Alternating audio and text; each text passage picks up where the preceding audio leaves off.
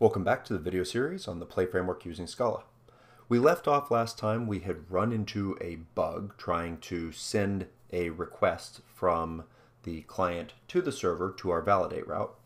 And with a little digging, I found that the problem was we were sending just username and password. Turns out the body needs to be stringified, so we actually need to convert it to a string to send it across. While working on this, I also went ahead and added a CSRF token to this so that I could take out the plus CSRF. Okay, so with that addition into the JavaScript,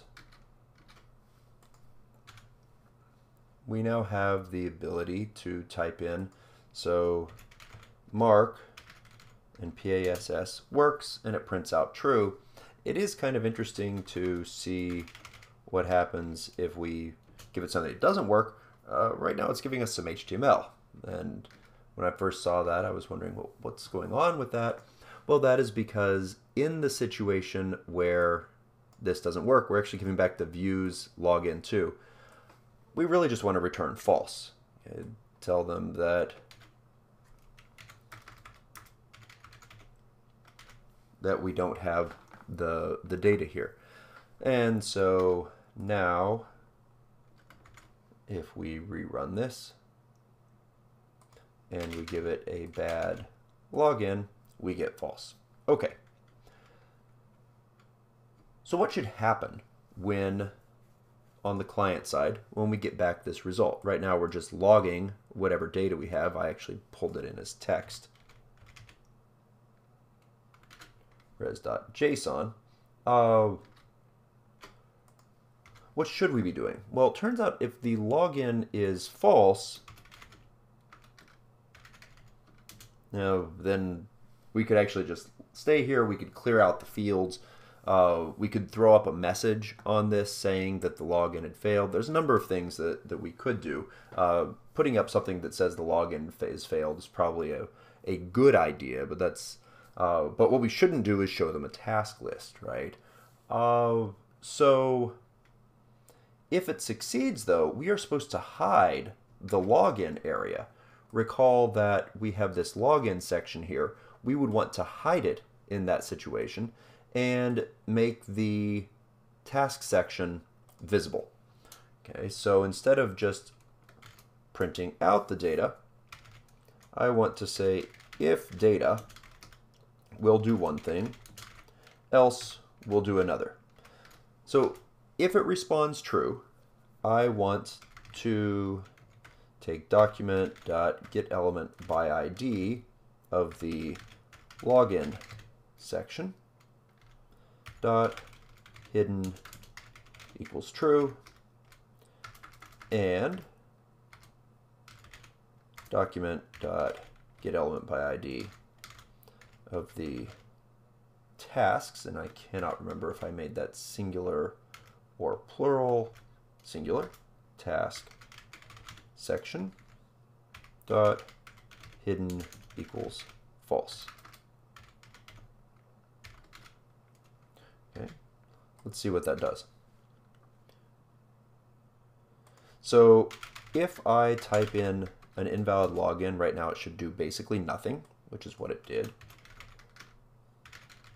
But if I type in the correct login, it should switch here. Now note, this wasn't populated with anything uh, because we didn't put anything there.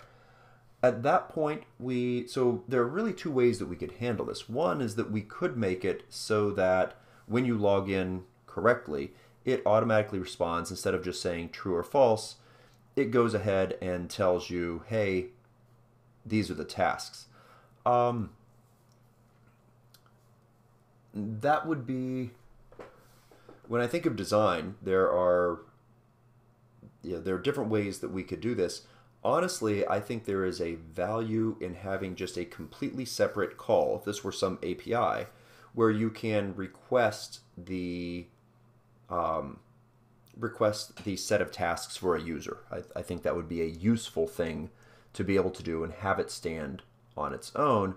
And for that reason, I would probably stick with something closer to the design of what we had before. By the way, I'm going to get rid of data. We we don't need that all, uh, at this point. That was it was fun for testing stuff. So we have task list three, which will get our set of tasks from the the collection and give them back. Uh, I'm actually going to make this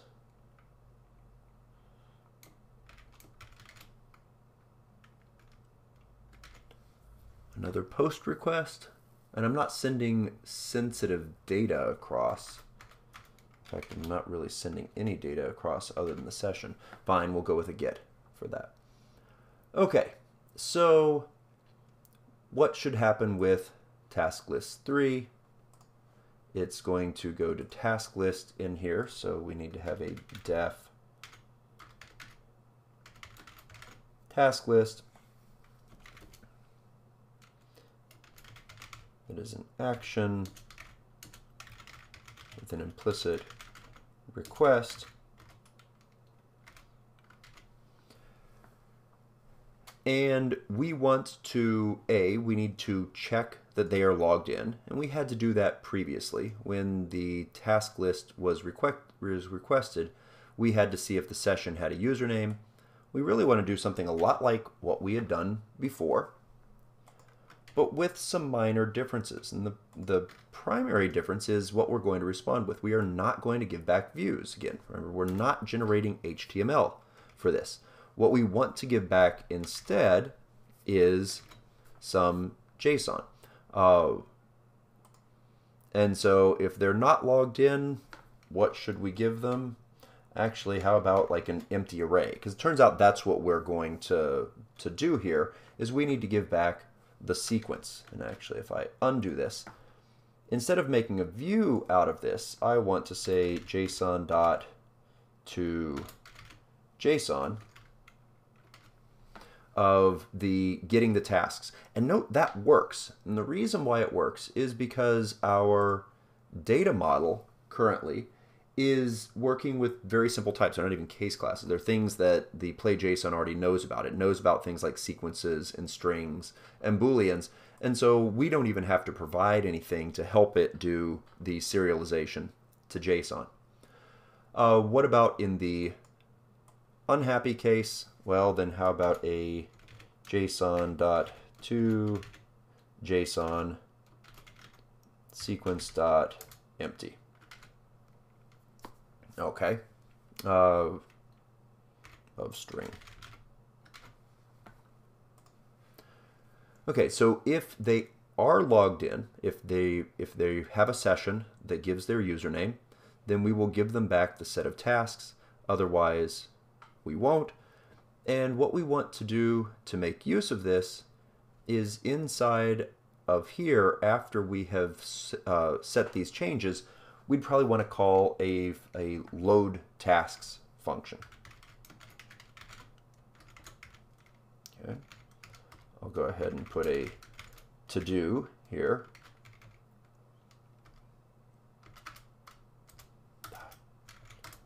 Okay. Function. Load tasks. So what load tasks is going to do is it is going to do another fetch. In this case, it is the uh, it is a route we don't have here, a task list route, which means we probably need it in the main. About, let's see, we're going to need to do a create, we're going to need to do a delete, we're going to need to do an add. So this is a new route that we didn't a tasks route.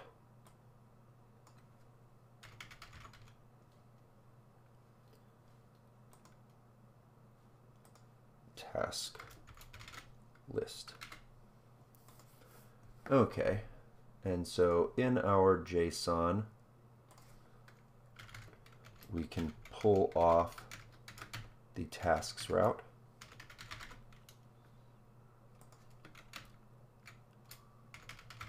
or in our JavaScript here, we can pull out that routing and we can do a fetch from it.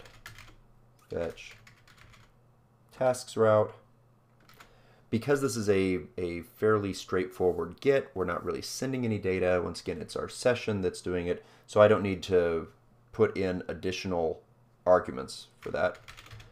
Then well, we'll get some result and we pull the JSON out of it. You might wonder why we have to do this. Turns out that the results JSON, so the body of the result is not by default read all the way in. And that's because if you don't need it, that is potentially additional uh, data that can take time to do. And this facilitates the asynchronous nature of, of what we're doing here with JavaScript. Remember, JavaScript runs in a single thread.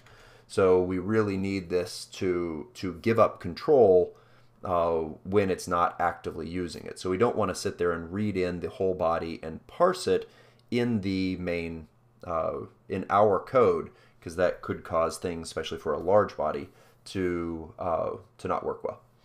And so what we get back would be the tasks